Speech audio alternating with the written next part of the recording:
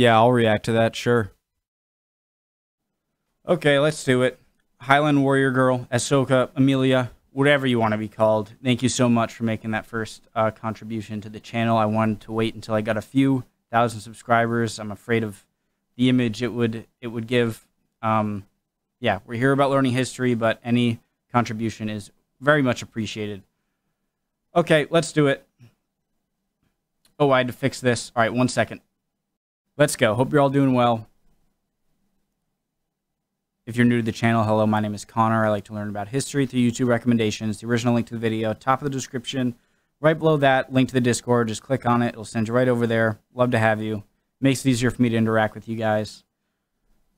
Uh, yeah, pull up a chair. More the merrier. And yeah, if you're not ready to learn, there's the door. You're in the wrong class. Home is down the hall. Make me a eggplant parm sandwich. I like eggplant parm even more than chicken parm. I guess a lot of you people around the world call it aubergine, I think. Anyways, let's do it. Hunger, snow, and fatigue had narrowed all the possibilities of this war down to one stark inevitability. Peter and Charles would meet on the field of battle to decide the fate of the Baltic world.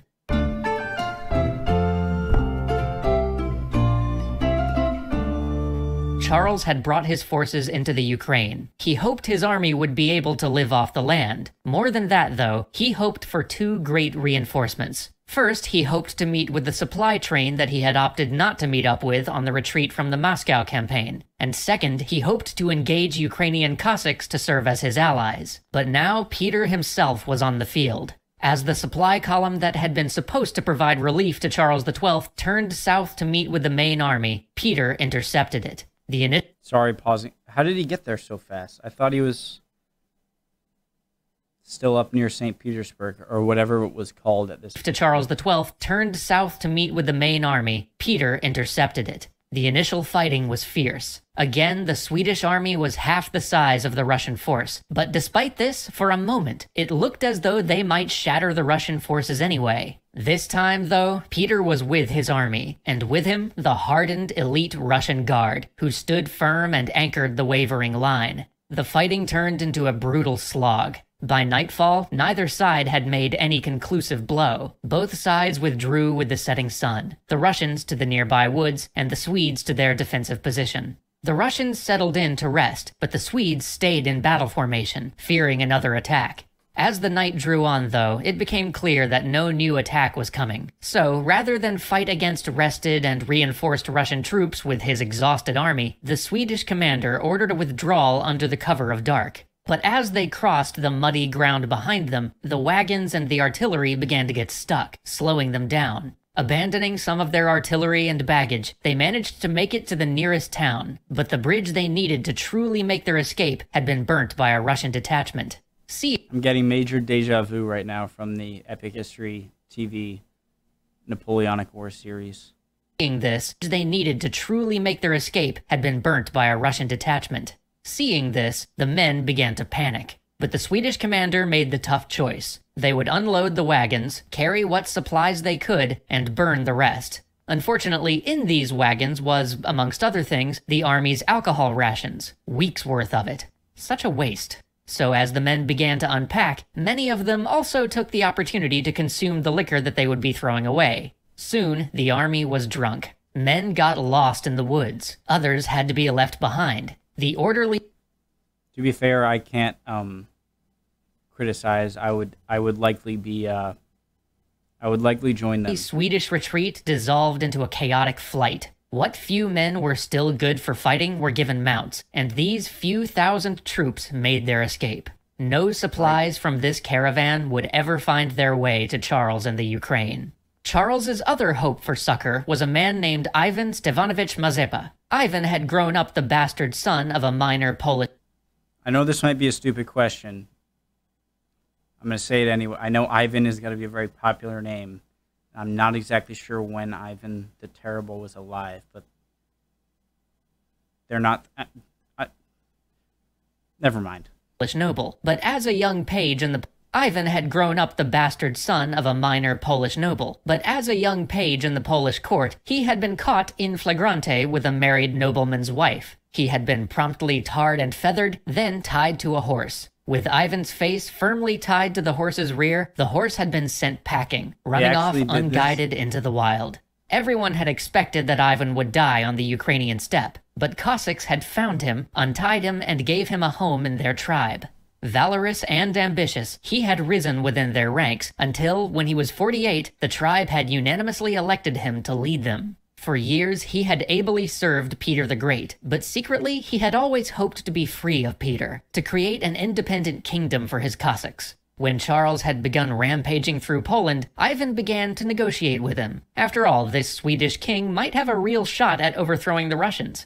Charles never took these overtures too seriously, though, at least not until desperate circumstances forced him to. As his campaign to Moscow began to fall apart, he reconsidered the value of this Cossack hetman. He agreed that, in exchange for the 30,000 horsemen that Ivan said he had under his command, the Swedes would offer their protection to the Cossacks. It was with the intent to meet up with this force that Charles turned southward. It was for this Cossack force that he abandoned the inebriated and ill fated resupply train that was to get- originally meant to catch up with him. Charles needed these troops, and the sooner he could link up with them, the better. But Ivan Mazeppa had severely overestimated the Cossacks' loyalty to him. When he made his rebellion known, it was 3,000 Cossacks, not 30,000, that decided to follow him. The rest maintained their allegiance to Peter. Peter then burnt Ivan's capital and sent the bodies of Cossacks tied to crosses floating down the Dnieper to discourage further rebellions. By the time Ivan struggled into Charles's camp, he had merely 1,500 men with him and few supplies. Now cut off in the Ukraine, the situation for the Swedish army was desperate. They were using saltpeter instead of salt to preserve food. They didn't even have enough wine to give the sacrament to dying men. Isn't saltpeter what's in gunpowder? So Charles made a bold didn't even have enough wine to give the sacrament to dying men. So Charles made a bold plan. He would attack the fortress of Poltava and gain a secure location for his men to rest and await supplies from the rest of his empire. But the privations of the winter had taken an even greater toll on his army. Almost all of his artillery had been left behind. They had almost no shot, and the powder had gotten so damp and water Sorry, it just it would have been funny if if he was eating a yellow snowball. of the Sorry. winter had taken an even greater toll on his army. Almost all of his artillery had been left behind. They had almost no shot, and the powder had gotten so damp and waterlogged that men complained that when they fired they could see the balls drop to the ground 30 feet away. They had also lost much of their officer corps, and now that it was summer, gangrene was spreading through the camp. But still, they put Poltava to siege. Each day they tried to mine underneath the fort and use sappers to drop its walls, but without artillery the going was slow. Just like Siege All of the Vienna. while, Peter raced toward Poltava with a massive relief army. And then Charles's legendary luck finally ran out. While overseeing the siege works, a stray bullet caught him in the heel, passing straight through his foot and embedding Ew. itself near his big toe. That day, he rode and worked through the pain until his men noticed that he was ghastly pale. When they took him to his tent and cut off his boot, they found that his foot was a wreck. He would have to be carried on a litter for at Am- least the remains of the right? campaign. Then Peter reached Poltava. His massive army of 80,000 dwarfed the 18,000 ish men of Charles's army that were actually in fighting shape. This giant force arraigned itself in front of the fort and began to dig in. Still, Charles and his commanders chose to rely upon the expedient they had always relied upon assault.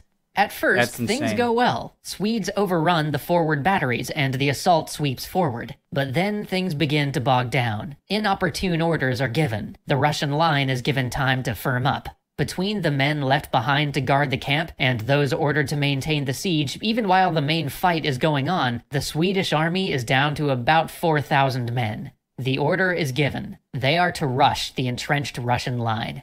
Cannon fire rips through the line of charging men. Bullets rain down upon them. By the time they reach the Russian works, nearly half of them lay bleeding on the field. The king orders his litter raced to the front to encourage his men. One by one, his litter bearers are shot dead around him, until only three of the original 24 remain. The king's litter drops, smashed upon the ground. What few men are left surge forward trying to prevent the Russians from capturing their king. A major rides up, dismounts, and lifts the king onto his own horse, only to be torn to pieces by Cossack sabers moments Wow. later. The king is whisked to safety, but at what cost? The army is routed, stumbling back across the steppe, disorganized.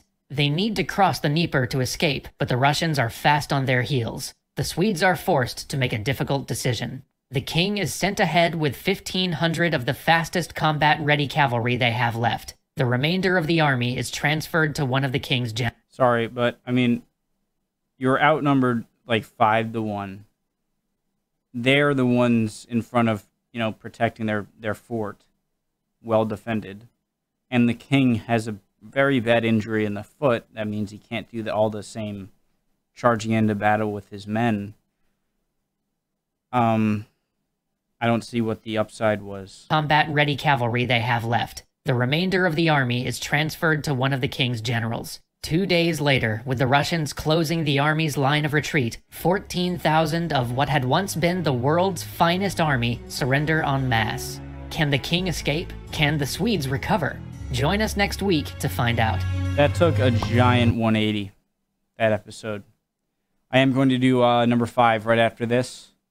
Stay tuned, guys. See you then.